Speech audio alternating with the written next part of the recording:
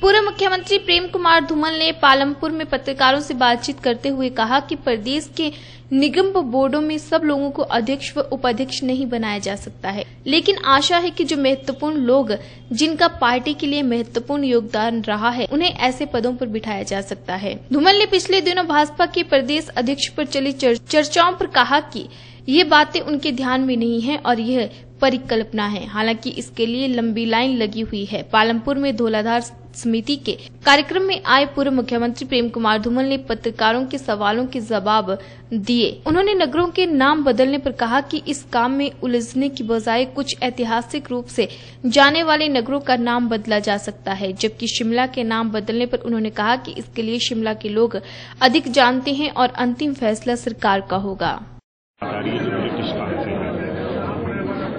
सरकार के कुछ मंत्रियों ने भी इसकी वकालत की है, भाजपा के नेताओं ने भी की है। आप क्या देखते हैं?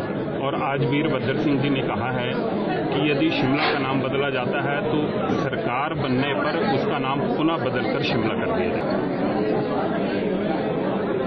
देखिए, वैसे तो ये सरकार का अधिकार होता है कि किसी जगह का नाम बदले, नया नाम रखे, ऐतिहासिक नाम रखे। कई बार योजनाओं पे भी ऐसी बातें हो जाती हैं। एक सरकार कोई योजना शुरू करती है उसका नाम बदल के दूसरा नाम रख दिया जाता है। बजाय इस काम में उलझने के, उसमें इम्प्रूवमेंट लाने की कोशिश करनी चाहिए लेकिन कुछ नगर ऐसे हैं जिनका ऐतिहासिक महत्व है, इतिहास के साथ जुड़े हुए हैं।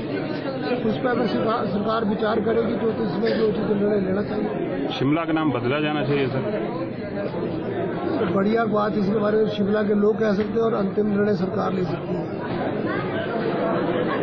भारतीय जनता पार्टी के नेतृत्व में एनडीए की सरकार पहले से भी ज़्यादा बहुमत के साथ श्री नरेंद्र मोदी जी के नेतृत्व में बनेगी।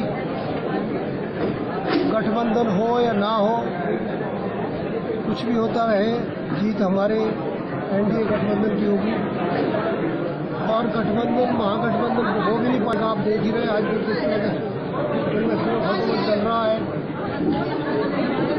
हमें पूर्ण विश्वास है केंद्र में हमारी सरकार है में हमारी सरकार है कार्यकर्ताओं की मेहनत के साथ चारों के में मोदी की झोली में डालेंगे और फिर उनको प्रधानमंत्री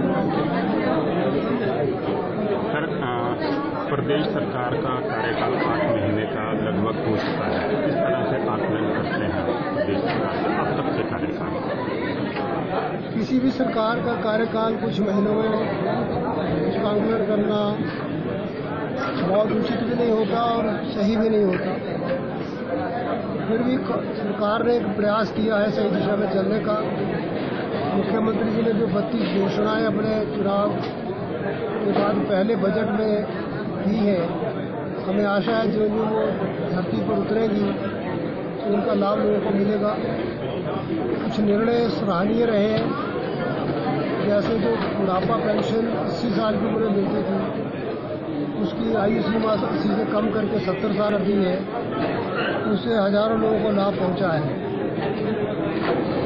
युवा स्वावलंबन के माध्यम से भी रोज़गार के और स्वरोजगार के अवसर उपलब्ध करवाए जा रहे हैं। हमें विश्वास है अन्य योजनाएँ भी सफल होगी।